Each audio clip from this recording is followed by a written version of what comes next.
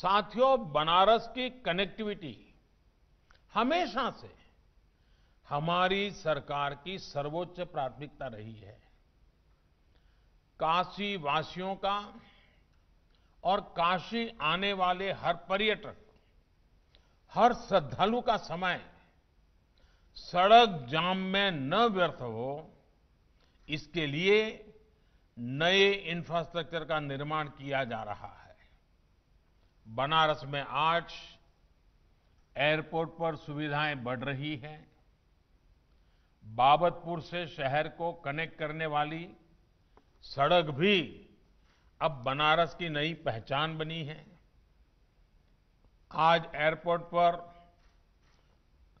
दो passenger boarding bridge उसका लोकार्पण होने के बाद इन सुविधाओं को और विस्तार होगा। ये विस्तार इसलिए भी ज़रूरी है क्योंकि छह वर्ष पहले, यानी आपने मुझे आपकी सेवा करने का अवसर दिया, उसके पहले बनारस में हर दिन 12 फ़्लाइट चलती थी। आज इससे चार गुना यानी 48 फ़्लाइट चलती हैं। 48 फ्लाइट्स यानी बनारस में सुविधाएँ बढ़ती देख बनारस आने वाले लोगों की संख्या भी बढ़ रही है। भाइयों और बहनों, बनारस में तैयार हो रहा आधुनिक इंफ्रास्ट्रक्चर यहाँ रहने वाले और यहाँ आने वाले दोनों ही तरह के लोगों का जीवन आसान बना रहे हैं। एयरपोर्ट से जुड़ी कनेक्टिविटी के साथ साथ रिंग रोड हो, महमूरगंज, मंडुवाड़ी फ्लाईओवर हो, एनएच 56 का चौड़ीकरण हो, बनारस, आज रोड इंफ्रास्ट्रक्चर का भी कायाकल्प होते देख रहा है।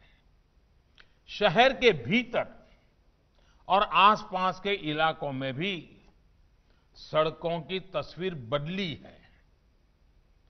आज भी वाराणसी के अलग अलग क्षेत्रों के लिए सड़क निर्माण कार्यों का काम शुरू हुआ है। नेशनल हाईवे, फुलवरिया, लहरतारा मार्ग, वरुणा नदी और तीन पुल और कई सड़कों का निर्माण। ऐसे कितने ही काम हैं जो आने वाले समय में बहुत जल्दी पूरे होने वाले हैं। रोडवेज़ के इस नेटवर्क के साथ साथ बनारस अब वाटरवेज की कनेक्टिविटी में भी एक मॉडल बन रहा है। हमारे बनारस में आज देश का पहला इनलैंड वाटर पोर्ट बन चुका है।